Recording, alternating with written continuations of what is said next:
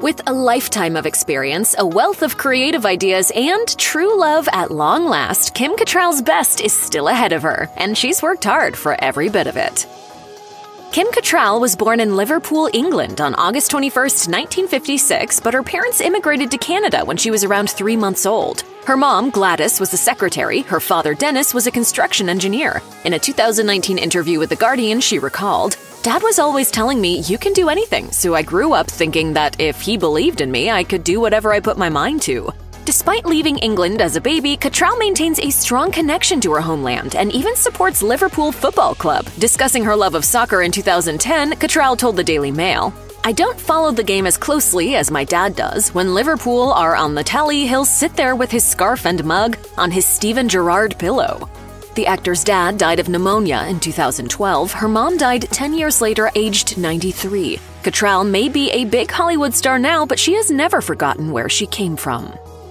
Kim Cattrall once faced a hilarious case of mistaken identity connected to her Canadian roots. Speaking to The Guardian in 2019, Cattrall quipped, I was mistaken for Justin Trudeau's mother on 60 Minutes when they flashed up my picture instead of hers. I dated his father briefly way back. Word of the mix up got back to the Canadian Prime Minister, who seemed to enjoy the mistake. Cattrall explained to The Guardian Weeks later, Justin introduced me to his mum at an event and said, Meet my mother, Kim Cattrall.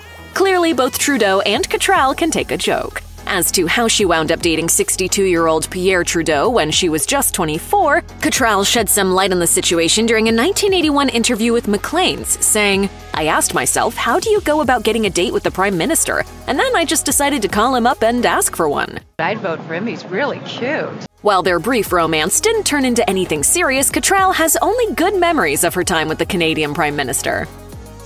Sex and the City fans were enthralled with the on screen friendship between Carrie, Charlotte, Miranda, and the iconic Samantha, played by Kim Cattrall. Apparently, however, the actors playing those characters weren't as close off screen. During an appearance on Piers Morgan's Life Stories, Cattrall got candid about her time on the show, saying, We've never been friends.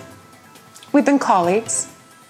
And in some ways, it's a very healthy place to be. Basically, playing Samantha Jones was just a job for Cattrall. Sarah Jessica Parker had a different recollection of their time on the show. During an appearance on Watch What Happens Live with Andy Cohen, Parker revealed, I found it very upsetting because, you know, that's not the way I recall our experience. If one more person calls this a cat fight, Oh God. I'm gonna. I'm not in a fight. I've never fought with with Kim. Parker added that she was left feeling heartbroken by Cattrall's comments and hoped there was a way forward for their relationship. Cattrall, however, decided to double down on her insinuation that she was never that close with her Sex and the City squad. Telling Variety, I guess it's how you define friends. I think we were colleagues. My colleagues aren't my friends. It was professional.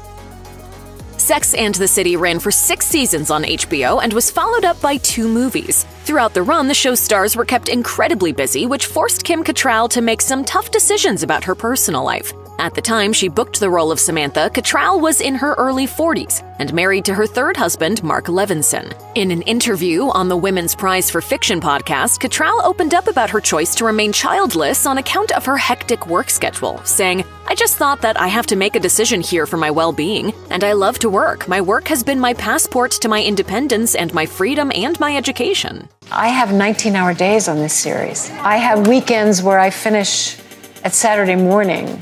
How could I possibly continue to do that? Cattrall chose to focus on her own health and needs while working in the entertainment industry, and in the process, she helped normalize the idea that it's okay not to have children.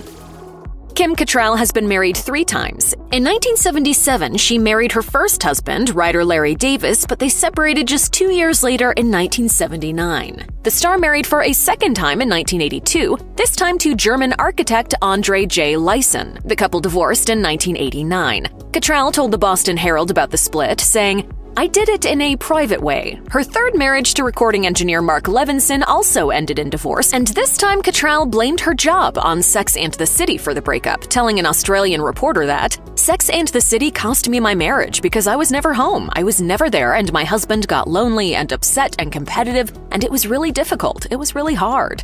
The couple finalized their divorce in 2004 after six years of marriage. Placing the blame squarely on the series that catapulted her to superstardom, Cattrall described the cause of her split, saying, I ended up spending more time with my Sex and the City family than I did with my real family.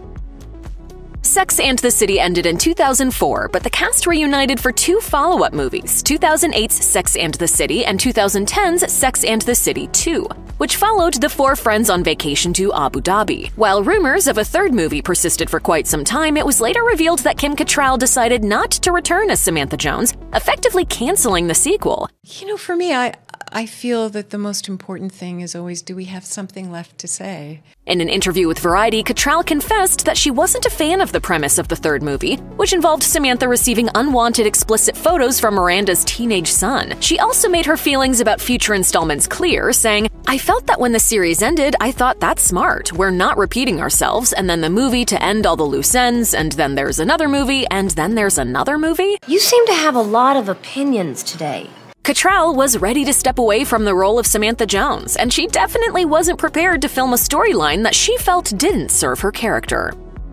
Whereas Samantha Jones is known for her reluctance to settle down, in real life, Kim Cattrall is in a long term committed relationship with British audio engineer Russell Thomas. The pair first met in 2016 when she appeared on BBC Radio 4's Woman's Hour, on which Thomas was working at the time. It wasn't long before they realized they had a real connection. In 2020, Cattrall discussed the early days of her romance with Thomas, telling People magazine, We kind of liked each other, we kept in touch, and then he came out to Vancouver. It was very brave of him because we didn't really know each other other than having a few meals together. But he came and we got along great, and we've been together ever since.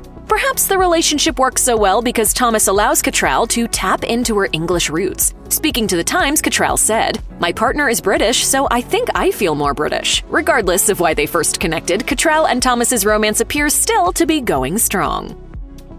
In February 2018, Kim Cattrall's family was devastated by the news that her brother, Christopher Cattrall, had died by suicide. Since Christopher's death, Kim has been open about the difficulty of processing the loss while living in the public eye. She expressed as much in a 2019 interview with The Guardian, saying, The shock of his death was so extreme that I can't fill that void. It's made me more aware of how fragile we all are. It can happen to any of us. Since losing her brother, Kim has often paid tribute to her younger sibling on social media. In January 2022, she marked what would have been Christopher's 59th birthday with an emotional Instagram post, captioned, Happy birthday, sweet Topher. We miss you today and every day. R.I.P.